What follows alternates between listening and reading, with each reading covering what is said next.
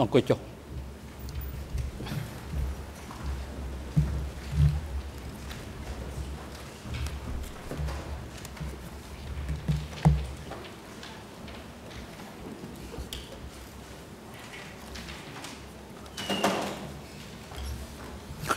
អង្គជំនុំជម្រះសាលាដំបង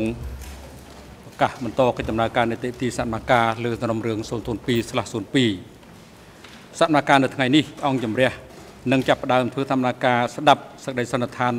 បញ្ចប់កិច្ចពិភាក្សាដេញដោលរបស់ភាគីនានានៅក្នុងសំណុំរឿង002/02មុននឹងចាប់ផ្ដើមកិច្ចដំណើរការសកម្មការនេះអង្គជំរះសូមអញ្ជើញកញ្ញាជាសៀវហងឡើងរាយការណ៍អំពីស្ថានភាពវត្តមានអវត្តមានភិក្ខីនិងបុគ្គលដែលអង្គជំរះក៏អញ្ជើញចូលរួមនៅក្នុងកិច្ចដំណើរការសមនការថ្ងៃនេះ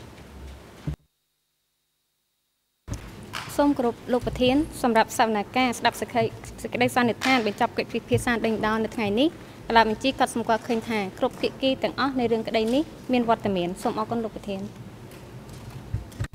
អរគុណកញ្ញាជាសៀវហងអង្គជំរះសូមជម្រាបរំលឹកជូនដល់ភាគីនិងសាធារណជនបានជ្រាបថាអង្គជំរះសាលាដំបងបានកំណត់ការបរិច្ឆេទសម្រាប់ធ្វើសកម្មភាពស្ដាប់សេចក្តីសន្និដ្ឋានបញ្ចប់កិច្ចពិភាក្សាដេញដោលសំណុំរឿង002/02 ចាប់ពីថ្ងៃនេះគឺថ្ងៃអង្គារទី13ខែមិថុនាឆ្នាំ2017ហើយនឹងបន្តរហូតដល់ថ្ងៃទី23ខែមិថុនាឆ្នាំ2017ដោយមានបញ្ជាក់នៅក្នុងដីកាកំណត់ការបរិច្ឆេទធ្វើសកម្មភាពសម្រាប់សក្តីសន្និដ្ឋានបិទបញ្ចប់កិច្ចពិភាក្សាដេញដោលដែលអង្គជំរះបានចេញកាលពីថ្ងៃទី28ខែមេសាឆ្នាំ2017ឯកសារ E 457/6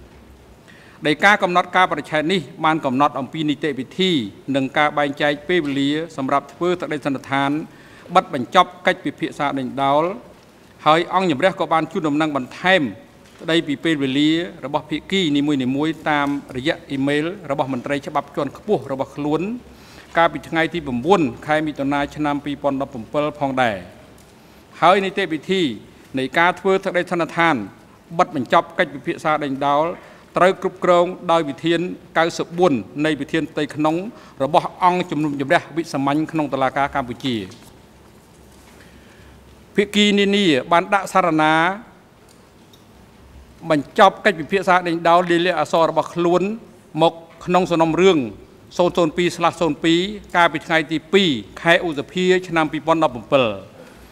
ឯលំដាប់លំដោយនៃការ ឡើងធ្វើសក្តីសន្និដ្ឋានបិទបញ្ចប់កិច្ចពិភាក្សាដេញដោលរបស់ភាគីត្រូវអនុវត្តស្របតាមវិធាន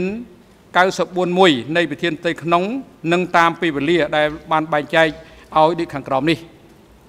សហមេធាវីនាំមុខតំណាងដើមម្ដងរដ្ឋបវេនីមានរយៈពេល1ថ្ងៃសហព្រាញ្ញាមានរយៈពេល2ថ្ងៃក្រមមេធាវីការពារក្តីនួនជាមានរយៈពេល2ថ្ងៃក្រមមេធាវីការពារក្តីខៀវសំផនមានរយៈពេល1ថ្ងៃកន្លះ ហើយការធ្វើដេចសន្តានតបរបស់សហមេធាវីនាំមុខតំណាងដើមម្ដងរដ្ឋបវេនីនិងសហព្រាញ្ញាមានរយៈពេល1ថ្ងៃនិងការធ្វើសេចក្តីសន្និដ្ឋានតបចុងក្រោយរបស់ក្រមមេធាវីការពារក្តីនិងសេចក្តីថ្លែងការណ៍ចុងក្រោយរបស់ជនជាប់ចោតនួនជានិងខៀវសំផនមានរយៈពេលសរុប4ម៉ោងដែលនឹងធ្វើឡើងនៅថ្ងៃសុក្រទី23ខែមិថុនាឆ្នាំ2017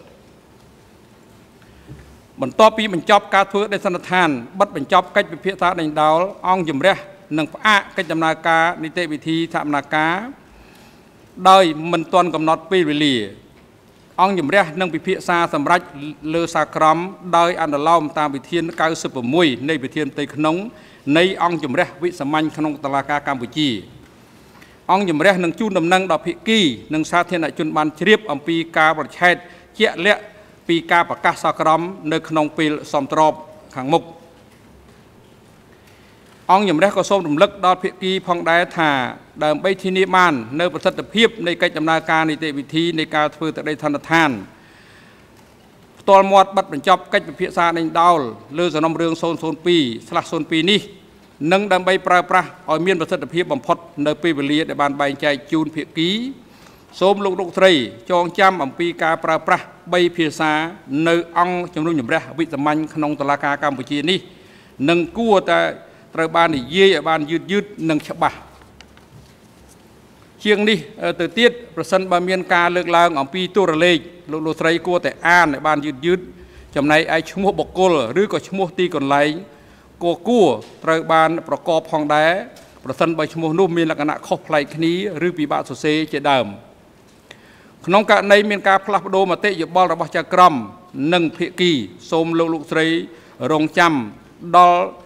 ការបកប្រែភាសាចប់សិនមុននឹងធ្វើការឆ្លើយតបហើយអង្គជំរះក៏សូមជម្រាបជូនដល់ភាគីនិងសាធារណជនផងដែរថានៅព្រឹកនេះអង្គជំរះបានបង្គាប់ឲ្យអនុរិយមន្ត្រីឃុំឃាំងនាំខ្លួនលោកនួនជាមកចូលរួមសកម្មភាពដោយផ្ទាល់ក្នុងបន្ទប់នេះ ដោយអនុលោមតាមអនុសាសន៍របស់គ្រូពេទ្យប្រចាំការពិនិត្យព្យាបាលថែទាំសុខភាពជនជាប់ចោតនៅអវតកនេះ ដែលបានផ្ដល់មកឲ្យអង្គជំរះសាលាដំបងកាលពីព្រឹកមិញនេះ ហើយតាមអនុសាសន៍របស់គ្រូពេទ្យគឺថាសន្និដ្ឋានស្ថានភាពសុខភាពរបស់លោកនួនជានៅព្រឹកនេះគឺ លោកអាចអង្គុយនៅក្នុងបន្ទប់សមនការនឹងប្រមាណជា20នាទីដូច្នេះក្នុងរយៈពេលក្រោយពីរយៈពេល20នាទីចាប់ពីពេលនេះទៅទៅលោកនួនជាបើសិនបើលោកមិនអាចបន្តចូលរួមសមនការទេគឺលោកអាចទៅកាន់បន្ទប់ឃុំខ្លួនខាងក្រោមសាធារណការនេះបានដោយមានការស្នើសុំការអនុញ្ញាតពីយើង មុននឹងផ្ដល់វិធានការជូនទៅភាគីក្នុងការធ្វើតេតន្តានបិទបញ្ចប់កិច្ចពិភាក្សាដេញដោលរបស់ខ្លួន អង្គជំរះសូមរលឹកបន្ថែមភាគីដែលគប្បីអនុវត្តឲ្យបានខ្ជាប់ខ្ជួនតាមសេចក្តីណែនាំសម្រាប់ការធ្វើសេចក្តីសន្និដ្ឋានបិទបញ្ចប់កិច្ចពិភាក្សាដេញដោលក្នុងសំណរឿង002/07ដែលបានចេញកាលពីថ្ងៃទី7ខែមិថុនាឆ្នាំ2017ឯកសារ E 457/7 ដើម្បីមានប្រសិទ្ធភាពនៃការអនុវត្តខ្លឹមនៃសេចក្តីណែនាំនេះនិងដើម្បីជាប្រយោជន៍ដល់សាធារណជនដែលចូលរួមតាមដានសកម្មភាពនេះផងយើងនឹងអាននៅខ្លឹមសារនៃសេចក្តីសម្រេចនេះទាំងស្រុងដែលមានខ្លឹមសារដូចខាងក្រោមនេះ1ដើម្បីសកម្មភាពស្ដាប់សេចក្តីសន្និដ្ឋានបិទបញ្ចប់កិច្ចពិភាក្សាដេញដោលនៅក្នុងសំណុំរឿង002/02ដែលនឹងចាប់ផ្ដើមពីថ្ងៃទី13ខែមិថុនាឆ្នាំ2017 ប្រព្រឹត្តទៅដោយរលូនអង្គជំនុំជម្រះសាលាដំបងសូមផ្ដល់នៅគោលការណ៍ណែនាំដល់គ្រប់ភាគីទាំងអស់ដូចតទៅអង្គការការពារសាក់សីសុចរិតភាពនៃកិច្ចស៊ើបសួរនៅក្នុងតំណរឿង003និង004សូមរំលឹកដល់ភាគីទាំងអស់អំពីអនុសារណៈរបស់អង្គជំនុំជម្រះសាលាដំបងឯកសារ E 319/35/15 ចុះថ្ងៃទី31ខែឧសភាឆ្នាំ2017ដែលបានអនុម័តយកតាមសេចក្តីសន្និដ្ឋានរបស់សហជីវកម្មស៊ើបអង្កេតអន្តរជាតិនៅក្នុងអនុសារណៈ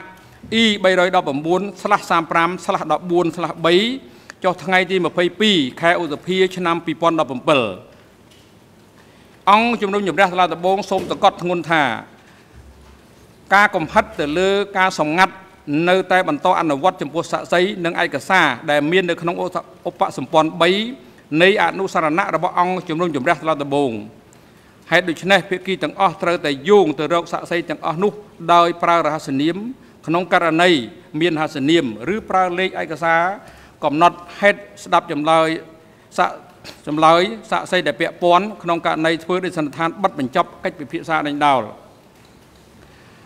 ផុសតាងដែលមិនត្រូវបានទទួលយកនឹងសំណើសុំឲ្យពិចារណាឡើងវិញសូមរំលឹកដល់ភាគីទាំងអស់ថាអង្គជំនុំជម្រះអាចពឹងផ្អែកទៅលើក្តីសម្រេចរបស់ខ្លួន តែទៅលើផុសតាងទាំងឡាយណា ដែលបានដាក់នៅចំពោះមុខអង្គជំរះអនុលោមតាមវិធាន87.3នៃវិធានផ្ទៃក្នុងប៉ុណ្ណោះអង្គជំនុំជម្រះក៏សម្គាល់ថានៅក្នុងសារណាបិទបញ្ចប់កិច្ចពិភាក្សាដេញដោលរបស់ខ្លួន មេធាវីការពីក្តីនួនជាបានស្នើសុំឲ្យអង្គជំរះពិចារណាឡើងវិញនៅសេចក្តីសម្រេចរបស់អង្គជំរះដែលបានបដិសេធក្នុងការទទួលយកសម្ភារៈដែលមាននៅក្នុងឧបសម្ព័ន្ធមួយអង្គជំជំនះនឹងដោះស្រាយសំណើសុំនេះនៅក្នុងពេលវេលាសំត្របជាករណីលើកលែងនឹងដោយមិនបង្កឲ្យមានភយសនកម្មចំពោះសេចក្តីសម្រេចចុងក្រោយនោះនៅក្នុងអំឡុងពេលធ្វើដីសន្និដ្ឋានបិទបញ្ចប់កិច្ចពិភាក្សាដេញដោលខាងមុខនេះ ភាគីត្រូវបានអនុញ្ញាតឲ្យយោងទៅរកសម្ភារៈដែលជាផ្នែកមួយនៃសំណើសុំឲ្យពិចារណាឡើងវិញបានភាគីណាមួយដែលបានជ្រើសរើសយកការយោងទៅរកសម្ភារៈបែបនេះក្នុងពេលដែលធ្វើទឹកដីសន្និដ្ឋានបិទបញ្ចប់កិច្ចពិភាក្សាដេញដោលត្រូវបញ្ជាក់ឲ្យបានច្បាស់លាស់ដល់ភាគីដទៃទៀតក៏ដូចជាដល់សាធារណជនផងដែរ នៅក្នុងបរិបទនេះអង្គជំនុំជម្រះសាលាដំបងសង្ឃឹមថាភាគីទាំងអស់នឹងបដោតការយកទៅដាក់ទៅលើផុសតាងដែលពួកគេពឹងផ្អែកនៅក្នុងសារណាបញ្ចប់កិច្ចពិភាក្សានៃដោរបស់ខ្លួនទោះបីជាយ៉ាងណាក្នុងឡុងពេលសកម្មភាពស្ដាប់សេចក្តីសន្និដ្ឋានបិទបញ្ចប់កិច្ចពិភាក្សានៃដោភាគីនឹងមិនត្រូវបានអនុញ្ញាតឲ្យយោងទៅរកសម្ភារៈដែលមិនត្រូវបានស្នើសុំឲ្យទទួលយកធ្វើជាឯកសារផុសតាង និងដែលមិនត្រូវបានជូនដំណឹងដល់អង្គជំរះព្រមទាំងភាគីផ្សេងផ្សេងទៀតនោះឡើយការពិចារណាឡើងវិញ អង្គជំរះរដ្ឋបូងសូមកត់សម្គាល់ថានៅក្នុងសារណាបិទបញ្ចប់កិច្ចពិភាក្សាដេញដោលរបស់ខ្លួនមេធាវីការពីក្តីនួនជា បានថ្នើសុំឲ្យអង្គជំរះធ្វើការពិចារណាឡើងវិញ លើសំណើសុំស្ដាប់សក្ខីកម្មសាក់សីនិងសំណើសុំបំពេញកិច្ចស៊ើបសួរមួយចំនួនរបស់មេធាវីការពីក្តីដែលត្រូវបានអង្គជំនុំជម្រះបដិសេធ អង្គជំរះនឹងដោះស្រាយសំណើទាំងនេះនៅក្នុងពេលវេលាសមស្របចម្លើយដែលទទួលបានដោយការធ្វើទរណកម្មអង្គជំរះសូមរំលឹកយោងទៅមាត្រា321នៃក្រមនីតិវិធីព្រហ្មទណ្ឌកម្ពុជាចម្លើយដែលទទួលបាន ក្រមការបង្ខិតបង្ខំខាងរូបកាយឬខាងផ្លូវចិត្តគ្មានតម្លៃជាផុសតាងទេបន្ថែមលើនេះផ្អែកលើ បទបញ្ញត្តិមេត្រា15នៃអនុសញ្ញាប្រឆាំងការធ្វើទរណកម្មចម្លើយទាំងឡាយណា ដែលត្រូវបានកំណត់ថាទទួលបានដោយសារការធ្វើទរណកម្មនិងមិនត្រូវយកមកប្រើប្រាស់ក្នុងកិច្ចដំណើរការនីតិវិធីណាមួយឡើយលើកលែងតែ ការយកមកប្រើប្រឆាំងនឹងបុគ្គលដែលត្រូវបានចោទប្រកាន់ថាបានធ្វើទរណកម្មដើម្បីជាភ័ស្តុតាង ថាចម្លើយនោះត្រូវបានធ្វើឡើង អង្គជំរះសម្រេចថាភ័ស្តុតាងដែលទទួលបានដោយការធ្វើទរណកម្មមិនអាចប្រើប្រាស់សម្រាប់បញ្ជាក់ការពិតនៃខ្លឹមសាររបស់ភ័ស្តុតាងនោះឡើយទោះជាបែបនេះក្តីព័ត៌មានបែបសច្ឆានុម័តដែលមាននៅក្នុងចម្លើយសារភាពទាំងនោះដូចជាការបទិឆេទនៃការចាប់ខ្លួន ដែលមិនមែនជាផ្នែកចម្លើយនោះអាចប្រើប្រាស់បានដូចគ្នានេះដែរចំពោះចំណាដែលបានចារលើចម្លើយសារភាពដោយអ្នកសួរចម្លើយឬថ្នាក់លើរបស់ពួកគេ ក៏អាចប្រើបានដែរអង្គជំរះសូមរំលឹកអំពីសេចក្តីសម្រេចរបស់ខ្លួនដែលថាហានិភ័យពិតប្រកបដែលកើតមានឡើង គឺថាការធ្វើទរណកម្មត្រូវបានប្រើប្រាស់នៅមន្ទីរសន្តិសុខស21និងមន្ទីរសន្តិសុខដទៃទៀតដើម្បីទទួលបានចម្លើយសារភាពឯកសារ E 350/8កថាខណ្ឌ79ភាគីណាមួយដែលបាន ដែលស្នើសុំប្រើប្រាស់ផុសតាងបែបនេះអាចជំទាស់ទៅនឹងការស្ដីសម្រេចបឋមនេះបាន ជាពិសេសដែលផ្អែកទៅលើការបង្ហាញនៅកលៈទេសៈជាលក្ខផ្សេងផ្សេងដែលអាចច្រោនច្រានចោលនៅហានិភ័យបែបនេះដោយសារហេតុនេះហើយទើបនៅក្នុងសកម្មភាពពិភាក្សាដេញដោលពិនិត្យផុសតាងកន្លងមក អង្គជំរះមិនអនុញ្ញាតឲ្យប្រើប្រាស់ចម្លើយសារភាពដែលទទួលបានមកពីមន្ទីរសន្តិសុខឡើយរាប់ទាំងមន្ទីរសន្តិសុខស21ផងដែរ ដែលមិនបានបង្ហាញថាចម្លើយទាំងនោះមិនមែនទទួលបានដោយការធ្វើទរណកម្មដោយសារតែជនជាប់ចោតនៅក្នុងទំនុំរឿងនេះត្រូវបានចោតប្រកាន់ពីបទធ្វើទរណកម្មអង្គជំរះត្រូវកំណត់បទកថានៃការបង្ហាញផុសតាងផ្សេងពីនេះនិងខ្ពស់ជាងនេះមួយស្ដីពីការធ្វើទរណកម្មបានកើតមានឡើងដែរឬទេនៅពេលពិចារណាលើផុសតាងទាំងអស់ដែលមាននៅក្នុងដំណាក់កាលសរសេរសាក្រម និងផ្អែកលើបទកថាសម្រាប់ការផ្ដន់ទោសចំពោះការធ្វើរនកម្មនេះការកំណត់បឋមរបស់អង្គជំរះអំពីហានិភ័យពិតប្រកបទៅលើផុសតាង បានមកដោយការធ្វើរនកម្មកន្លងមកអាចខុសពីត្រីសន្និដ្ឋានស្ថាពររបស់ខ្លួន ដោយសារតែកិច្ចដំណើរការនីតិវិធីពិភាក្សាដេញដោលពិនិត្យផុសតាងត្រូវបានបញ្ចប់ហើយនោះមិនមានគ្រោះថ្នាក់ណាមួយកើតឡើង ដែលថាសាក់សីដើមម្ដងរដ្ឋបពិនីអាចទទួលរងនូវអធិបុលដោយមិនសមស្របដោយសារផុសតាង បានមកដោយការធ្វើទរណកម្មហេតុដូច្នេះអង្គជំរះអនុញ្ញាតឲ្យភាគីយោងទៅរកព័ត៌មានបែបនេះបាន ក្នុងករណីដែលយល់ឃើញថាចាំបាច់នៅក្នុងឡុងពេលធ្វើដោយសន្និដ្ឋានបិទបញ្ចប់កិច្ចពិភាក្សាដេញដោលប៉ុន្តែភាគីត្រូវចងចាំនិងបញ្ជាក់នៅមុនពេលពិភាក្សាលើឯកសារបែបនេះ អង្គជំនុំជម្រះបានសន្មត់ថាផោះតាំងដែលនឹងលើកយកមកពិភាក្សានេះ បានមកដោយការធ្វើទរណកម្មការបញ្ជាក់បែបនេះគឺជាការផ្ដល់នៅការជូនដំណឹងសមស្របមួយអំពីលក្ខណៈនៃផោះតាំងដែលត្រូវយកមកពិភាក្សាហើយប្រសិនបើមិនមានការបញ្ជាក់បែបនេះទេភាគីនានានិងសាធារណជនអាចមានការយល់ច្រឡំអង្គជំនុំជម្រះអនុម័តយកវិធីសាស្ត្របែបនេះសម្រាប់ ផោះតាងនានាដែលទទួលបានដោយសារការធ្វើរនកម្មដើម្បីសម្រួលដល់ការធ្វើដេសន្តានបិទបញ្ចប់កិច្ចពិភាក្សាទិញដោលដោយមិនមានការរំខានតាមតែអាចធ្វើទៅបានបាទហើយជាបន្តទៅនេះអង្គជំរះសូមផ្ដល់វេទិកាជូនទៅក្រមសហមិត្តវី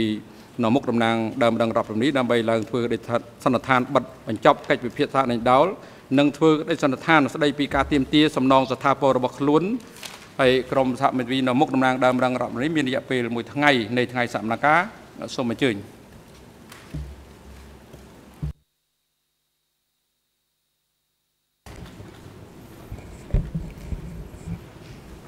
ខ្ញុំបាទពេជ្រអង្គជាមេធាវីជាតិនាំមុខតំណាងដើមបណ្ដឹងរដ្ឋវិនីសូមគោរពលោកប្រធានលោកលោកស្រីចៅក្រមភិក្ខីសាធារណជន និងដើមបណ្ដឹងរដ្ឋប្រវេណី ថ្ងៃអង្គារទី13ខែមិថុនាឆ្នាំ2017នេះ ជាឱកាសមួយដ៏ល្អសម្រាប់ភាគីដាំបណ្ដឹងរដ្ឋវិនីដែលត្រូវបានអនុញ្ញាតឲ្យលើកឡើង នៅសេចក្តីសន្និដ្ឋានផ្ទាល់មាត់របស់ខ្លួនដោយរំលេចខ្លីៗអំពីហេតុការណ៍និងផ្ទះសនកម្មទាំងឡាយដែលពួកគាត់បានជួបប្រទះក៏ដូចជាទទួលរង និងលើកអំពី គម្រោងសំណងដែលខ្លួនមាន សម្រាប់ជូនតុលាការទទួលស្គាល់បន្ទាប់ពីមានសវនកម្មដេញដោល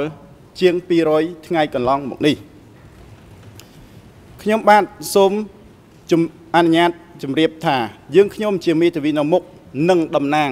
មេមេធាវីតំណាងដើមដឹងរដ្ឋវិនីគឺជាអ្នកតំណាងឲ្យក្រុមរួម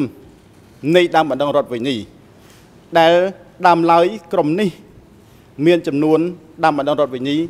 3867រូបនៅក្នុងចំណោមពួកគាត់ទាំងនោះ គឺមាន2195រូបស្ថិតនៅរាជធានីភ្នំពេញនិងខេត្តនៅជិតខាងនៃរាជធានីភ្នំពេញនិងដាំបណ្ដឹងរដ្ឋវិនីចំនួន1093រូបស្ថិតនៅខេត្តឆ្ងាយពីរាជធានីភ្នំពេញ ដែលប្រមូលផ្ដុំជាពិសេស212រូបនៅក្នុងខេត្តកំពង់ធំ និង268រូបនៅក្នុងខេត្តពោធិ៍សាត់ចំនួនដើមបណ្ដឹងរដ្ឋវិនីទាំង3867រូបនេះមិនស្ថិតនៅ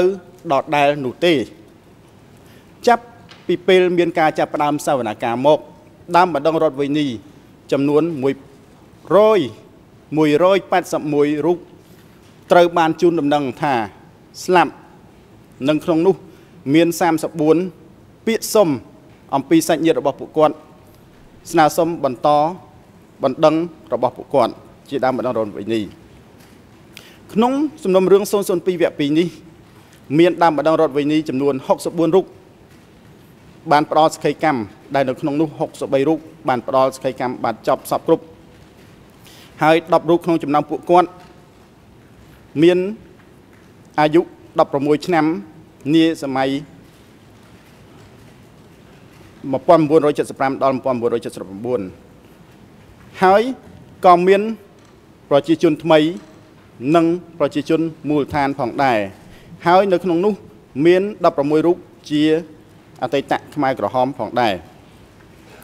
ដោយបានបញ្ជាក់នៅក្នុងវិធាននីតិវិធី23ស្ទួន4នៃ សាលាក្តីខ្មែរក្រហមដើមបណ្ដឹងរដ្ឋវិនីដែលចូលរួមនៅក្នុងរឿងក្តីនេះ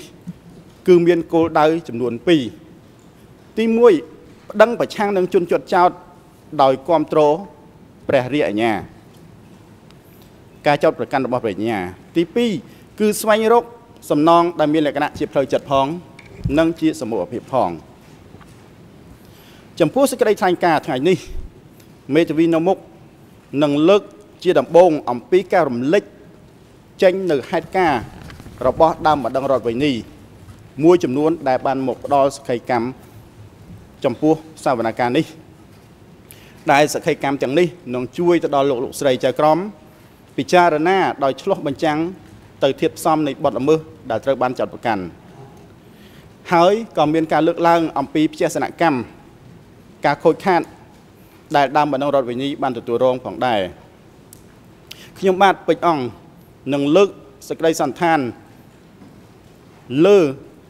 ការដ្ឋានការងារនិងការធ្វើទុកបុកម្នេញលើប្រជាជនចាមចំណែកឯលោកស្រីជាតិវ៉ាន់លីនឹងធ្វើសេចក្តីសន្តានលើសហករណ៍ត្រាំកក់ការធ្វើទុកបុកម្នេញលើព្រះពុទ្ធសាសនា និងមន្ទីរសន្តិសុខក្រាំងតាចាន់ដែលស្ថិតនៅទីនោះចំណែកឯលោកមេធាវីហុងកំសួន នឹងឡើងធ្វើការសន្និដ្ឋានផ្ទាល់មាត់តាក់ទងទៅនឹងមន្ទីរសន្តិសុខចំនួន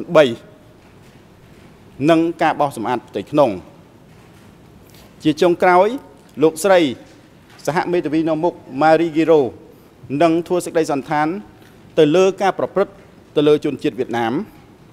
ក្នុងអំឡុងរបបកម្ពុជាប្រជាធិបតេយ្យនិងការនិងការដាក់បណ្ឌបញ្ជាទៅលើអាពាហ៍ពិពាហ៍ ហើយនៅវគ្គចុងក្រោយបំផុតនៃថ្ងៃនេះ មេធាវីនៅមុខគឺលោកស្រីម៉ារីហ្គីរ៉ូហើយនិងខ្ញុំបាទនឹងលើកឡើងអំពីបណ្ដុំនៃសំណើគម្រោងសំណងសមូហភាពនិងផ្លូវចិត្តមួយចំនួនដែលមានថវិកាត្រូវបានធានារួចហើយ សម្រាប់អនុវត្តសម្រាប់ជូនលោកលោកស្រីចៅក្រមទទួលស្គាល់នៅក្នុងដំណើរការនៃការធ្វើបទបង្ហាញសន្តានផ្ទាល់មាត់ នេះយើងខ្ញុំសូមស្នើទៅដល់លោកប្រធាន ផងដែរថាសូមលោកប្រធានអនុញ្ញាតឲ្យយើងខ្ញុំបញ្ដាក់បញ្ចាំងវីដេអូខ្លីៗនិងរូបថតនានារួមទាំងឯកសារផ្សេងផ្សេងទៀតដែលយើងខ្ញុំបានរៀបចំនិងប្រគល់ជូនទៅផ្នែកសោតទស្សន៍រួចហើយដោយមិនបាច់ស្នើសុំលោកប្រធានរាល់លើកដែលត្រូវប្រចាំងនីមួយមួយបាទសូមអរគុណខ្ញុំឃើញលោកប្រធានអនុញ្ញាតក្បាល បាទយើងអនុញ្ញាតក្នុងលក្ខខណ្ឌតែឯកសារផុសតាំងដែលបានដាក់ចំពោះមុខអង្គជំនុំជម្រះរួចហើយដែលអង្គជំរះបានទទួលហើយយកវិភាសាដេញដោរួចហើយអញ្ចឹងប្រយ័ត្នប្រយែងបើមិនជាករណីខុសពីនេះមិនន័យថាសម្ភារៈផ្សេងទៀតដែលមិនអង្គជំរះមិនទាន់បានទទួលយកជាឯកសារផុសតាំងគឺអង្គជំរះមិនអនុញ្ញាតទេបាទសូមគោរពលោកប្រធាន យើងខ្ញុំនឹងប្រើតែឯកសារដែលបានប្រើប្រាស់អនុញ្ញាតរួចហើយតែប៉ុណ្ណោះជាបន្តទៅទៀតនេះគឺខ្ញុំសូមអនុញ្ញាតនិយាយអំពីបញ្ហាដែលពាក់ព័ន្ធទៅនឹងការដ្ឋានការងារខ្ញុំសូមលើកថានៅក្នុងសន្ទរកថារបស់លោកខៀវសំផននៅថ្ងៃទី15ខែមេសាឆ្នាំ1977ក្នុងឱកាសខួបលើកទី2នៃជ័យជំនះ17មេសា1975 លោកខៀវសំផនបាននិយាយនៅក្នុងសន្ទរកថារបស់គាត់ថា គ្រប់ការដ្ឋានសាងសង់ដែលគេកំពុងសាងសង់ទំនប់ទឹកជីកអាងស្តុកទឹក និងជីកប្រឡាយទឹក អង្គភាពជាច្រើន បាន បញ្ចប់ផែនការរបស់ខ្លួន ហើយពាក់ព័ន្ធទៅនឹងកុមារលោកខៀវសំផនក៏បានលើកឡើងថាក្មេងៗរបស់យើងសប្បាយនឹងការដេញចាប់ជួយកសាងទំនប់ និងខឿនទំនប់ការពារទឹកជីកអាងស្តុកទឹកនិងជីកបន្លាយសបាយតើពួកគាត់ជាការពិតសបាយនឹងអ្វីអ្វីដែលបានលើកដោយលោកខៀវសំផនដែរទេតើវាជាការពិតទេអ្វីដែលគាត់បានលើកនេះស្ថានភាពជាក់ស្ដែងគឺមិនដូចអ្វីដែលបាននិយាយនោះទេ ការលើកនេះគ្រាន់តែជាការបំបិតបាំងការពិតតែប៉ុណ្ណោះដាំបណ្ដឹងរដ្ឋវិនីបានលើកឡើងពីទុកវេទនាដ៏ធំធេងដែលពួកគាត់បានទទួលរងពីរបបគ្រប់គ្រងនាសម័យនោះដែលត្រូវបានចាត់ទុកពួកគាត់ថាជាទាសករនិងបង្ខំឲ្យធ្វើការដ៏ធ្ងន់ធ្ងរនៅតាមការដ្ឋានសាងសង់នានាសហករណ៍នៅនឹងការដ្ឋានត្រូវបានបង្កើតឡើង នៅទូទាំងប្រទេសកម្ពុជា តាំងពីមុនឆ្នាំ1975គឺចាប់ពីដំណាក់កាលដំបូងនៃការគ្រប់គ្រងរបស់បកកុម្មុយនីសកម្ពុជា ទៅលើផ្នែកខ្លះៗនៃទឹកដីមកម្លេះសហករណ៍នឹងការដ្ឋានទាំងនោះ បន្តដំណើរការយ៉ាងហោចណាស់រហូតដល់ថ្ងៃទី6ខែមករាឆ្នាំ1979 អង្គជំនុំជម្រះសាលាដំបងបានទទួលការប្តឹងឲ្យពិនិត្យពាក់ព័ន្ធនឹងការដ្ឋានចំនួន3និងសហករណ៍ចំនួន1គឺការដ្ឋានទំនប់ត្រពាំងថ្មការដ្ឋានសាងសង់ប្រលានយន្តហោះកំពង់ឆ្នាំងការដ្ឋានទំនប់1មករានិងសហករណ៍ត្រាំកក់ដីកាដំណោះស្រាយដែលបញ្ជូនរឿងមកអង្គជំនុំជម្រះសាលាដំបងបានលើកឡើងថា គោលដៅមួយក្នុងចំណោមគោលដៅទាំងឡាយក្នុងការបង្កើតសហករណ៍និងការដ្ឋាន គឺដើម្បីដាក់ប្រជាជនឲ្យធ្វើការផលិតស្បៀងអាហារសម្រាប់ការប្រើប្រាស់ផ្ទៃក្នុងនិងការនាំចេញសូមបំផាក់តិចលោកខាងសូមចេញលោកវិទ័យកូពេ yes Mr President uh, sorry to interrupt but my បាទលោកប្រធានខ្ញុំសូមទោសប៉ុន្តែកូនក្តីខ្ញុំសូមអនុញ្ញាតចាស់ទៅក្រោមដើម្បីសម្រាប់សូមអរគុណលោកប្រធានបាទអង្គជំរះអនុញ្ញាតហើយហើយអង្គជំរះសូមជម្រាបជូនភាគីនឹងថាទៀតជូនថាតាមកំណត់ហេតុពិនិត្យសុខភាពរបស់ជនជាប់ចោតនួនជាតិដែលធ្វើឡើងដោយគ្រូពេទ្យប្រចាំការពិនិត្យព្យាបាលថែទាំសុខភាពជនជាប់ចោតនៅអបតកនេះធ្វើការពិព្រឹកមិញ បានគាត់តម្កល់ពីបញ្ហាសុខភាពរបស់គាត់ថាគាត់មានអាការៈឈឺចង្កេះជាប្រចាំហើយក្នុងករណីអង្គុយយូរគឺគាត់ធ្វើឲ្យកាន់តែពិបាកទ្រាំ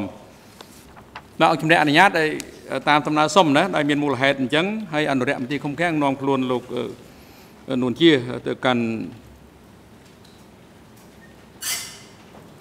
បន្ទប់ខាងក្រោមសហសកម្មការនេះដើម្បីឲ្យគាត់តាមដាន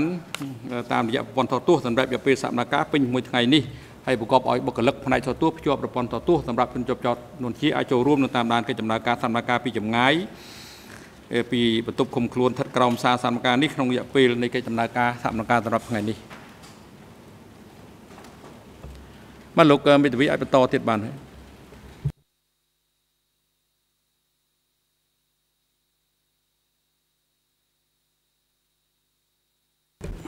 ក្នុងចំណោមសកម្មភាពផ្សេងផ្សេងទៀត ចំណុចទាំងនេះពាក់ព័ន្ធផងដែរជាមួយនឹងការបង្កើនផលិតផលស្រូវយ៉ាងឆាប់រហ័ស3តោនក្នុង1ហិកតា ការបង្កើតឲ្យមានប្រព័ន្ធស្រោចស្រពទឹកបញ្ចូលស្រែទូទាំងផ្ទៃប្រទេសឬការសាងសង់ហេដ្ឋារចនាសម្ព័ន្ធដូចជាប្រលានយន្តហោះកំពង់ឆ្នាំងទំនប់ទឹក មានការចាត់ប្រកាន់ថាគោលដៅមួយទៀតនៃការបង្កើតសហគមន៍និងការដ្ឋាន គឺដើម្បីអនុវត្តគោលនយោបាយពាក់ព័ន្ធទៅនឹងការស្រាវជ្រាវរកខ្មាំងការពារទប់ទល់នឹងខ្មាំងអប់រំខ្មាំងនិងកំទេចខ្មាំងឬដើម្បីលុបបំបាត់របបឯកជន ដោយបំផ្លាញរចនាសម្ព័ន្ធពីមុន ហើយជំនួសមកវិញ ដោយរបបសមូហភាព ដែលនៅក្នុងនោះលែងមានកម្មសិទ្ធិឯកជន និងកម្មសិទ្ធិគ្រួសារទៀតហើយជាដំបូង អង្គជំនុំជម្រះនឹងសម្រេចថាតើអ ுக ្រិតកម្មប្រឆាំងមនុស្សជាតិបានកើតឡើងនៅតាមសហគមន៍និងការដ្ឋានទាំងនោះឬយ៉ាងណា បន្ទាប់មកថាតើជនជាប់ចោតអាចទទួលខុសត្រូវចំពោះអ ுக ្រិតកម្មទាំងនោះឬយ៉ាងណាគោលបំណងនៃការបង្ហាញថ្ងៃនេះ គឺដើម្បីបង្ហាញថាតើដើមបណ្ដឹងរដ្ឋប្រវេណី អាចជួយដល់អង្គជំនុំជម្រះដោយរបៀបណាក្នុងការធៀបកំណត់ធៀបសំសម្ភារៈនៃបទអក្រិតនានាដែលជនជាប់ចោតត្រូវបានចោតប្រកាន់ដូចជាការធ្វើឲ្យធ្វើឲ្យคล้ายជាទេសកការធ្វើទារុណកម្មការធ្វើទុកបុកម្នេញដោយមូលហេតុនយោបាយដូច្នេះ ខ្ញុំនឹងបង្ហាញជូនភស្តុតាងរបស់ដើមបណ្ដឹងរដ្ឋវិនីពាក់ព័ន្ធទៅនឹងការដ្ឋានការងារដូចតទៅដែលដើមបណ្ដឹងរដ្ឋវិនីចំនួន100នាក់101នាក់ត្រូវបានទទួលស្គាល់ជាដើមបណ្ដឹងរដ្ឋវិនីនៅក្នុងបរិបទនៃឧក្រិដ្ឋកម្មដែលបានប្រព្រឹត្តនៅទំនប់ត្រពាំងថ្មដើមបណ្ដឹងរដ្ឋប្រវេណីចំនួន4នាក់ក្នុងចំណោមនោះ មានឈ្មោះថាសំស័កមានលើយញឹបហល់សែនសុផុនដែលបានផ្ដល់សក្ខីកម្មអំពីអក្រិតកម្មនៃការធ្វើឲ្យខ្លាយទៅជា